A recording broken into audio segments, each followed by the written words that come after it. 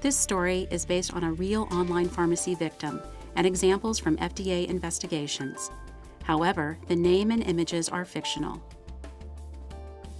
Susan, a 25 year old teacher from Colorado, got an email advertising FDA approved drugs for sale without a prescription. She'd been having trouble sleeping, but hadn't made time to talk to her doctor, and she thought the email might offer a quick solution.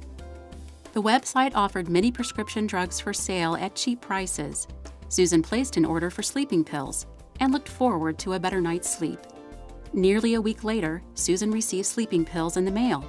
The pills were in an orange bottle, like you get at the local pharmacy, but without any label, instructions, or dosage information.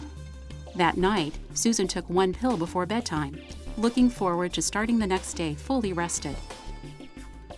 But by the time she woke up in the morning, her face felt numb. She was experiencing muscle spasms, and she had trouble breathing.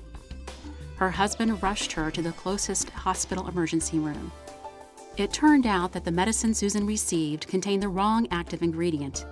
Instead of getting a medicine to help with sleep, she had received a medicine that is used to treat schizophrenia, a serious mental disorder.